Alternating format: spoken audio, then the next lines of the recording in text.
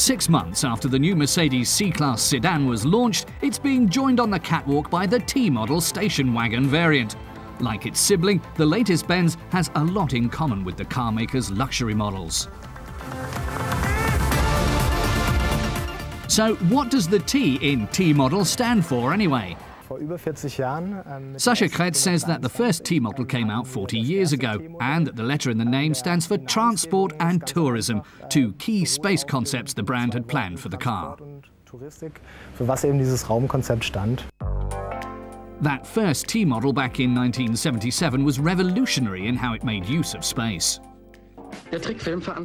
This animated ad shows how versatile the Mercedes T was for transporting lots of people and lots of cargo. The T model was the first in a long line of what Mercedes called its lifestyle station wagons. It put paid to the image of the body style as a kind of closed bed truck. Our car tester, Sasha Knapp, says that more than half of the C-Class cars sold are T models. He likes the features, like the one that allows you to open the trunk even when your hands are full. The trunk is slightly larger in the new model, Sasha says. It now has almost 500 litres of volume. With the back seat down, that triples, and lowering it is easy. If the front seats are so far back that they would block it, the system shifts them forward automatically. Then in back you have a loading surface that's almost completely flat. And you can fit in objects up to 1 meter 80 long. The whole car is 10 centimeters longer now. It's around 4 meters 70 in total. Those 10 centimetres improve passenger comfort in the back seat, says Sascha. There's really plenty of knee room now. Just like past models, the interior has a high-end feel. The T model comes equipped with lots of assistance programs, and as always with Mercedes, the workmanship is top-notch.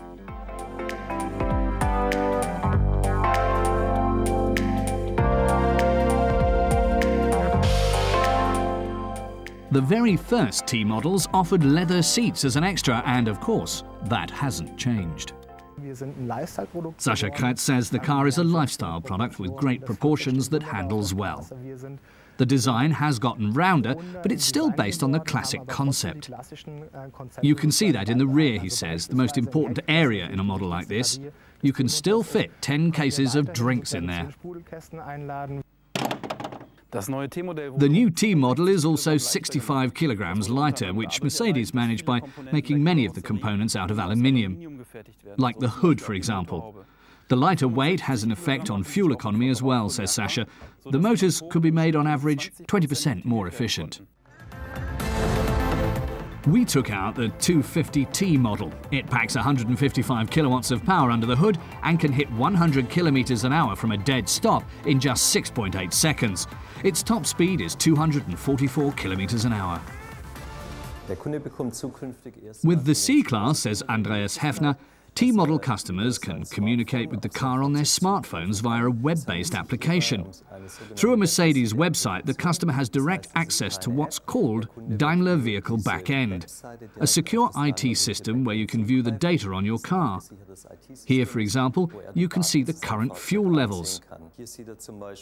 They're updated every time the vehicle is turned on or off, says Hefner. It lets you know whether you'll definitely be able to make it back home on what's left in the tank, or if you really do have to stop and fuel up.